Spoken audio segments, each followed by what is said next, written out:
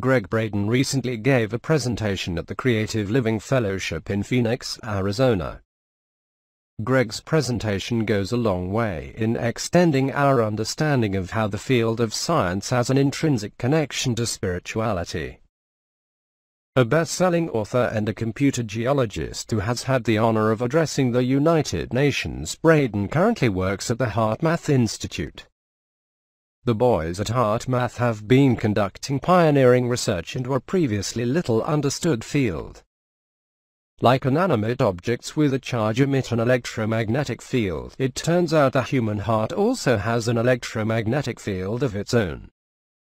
What this means is that the way we imagined all life on Earth to be intrinsically interconnected is now going through a revolutionary change.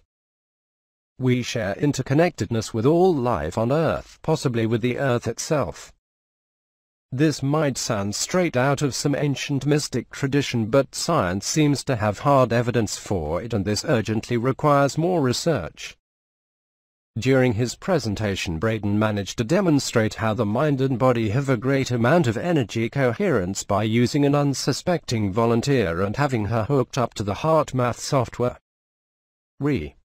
He explained that the Global Coherence Initiative or GCI had embedded detection sensors underground to study changes in the Earth's electromagnetic fields. The GCI's mission statement is as follow. The Global Coherence Initiative is an international effort that seeks to help activate the heart of humanity and promote peace, harmony and a shift in global consciousness. GCI conducts groundbreaking research on the interconnection between humanity and Earth's magnetic fields and energetic systems. The findings are stunning. They have detected changes in the Earth's electromagnetic fields depending on the kind of emotional energy emitted by large number of people.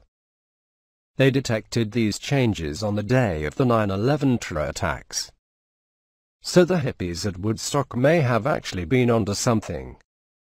Enough people dropping into the hearts can actually have an effect on the natural world. We are more interconnected than we realize at first. This technology and research is paving the way for a new understanding, or do I dare say a recollection of the sacred connection between energetic fields in our universe. The human aura is a real thing and has real effects. While this connection has always been well known among the ancients and aborigines, mainstream science has only begun to ask the right questions in recent years.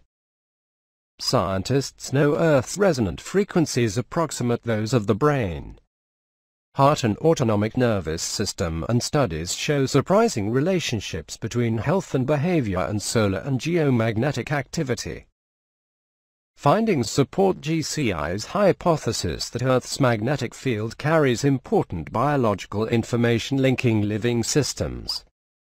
We'll let your heart ponder over the implications of this new horizon for science and humanity.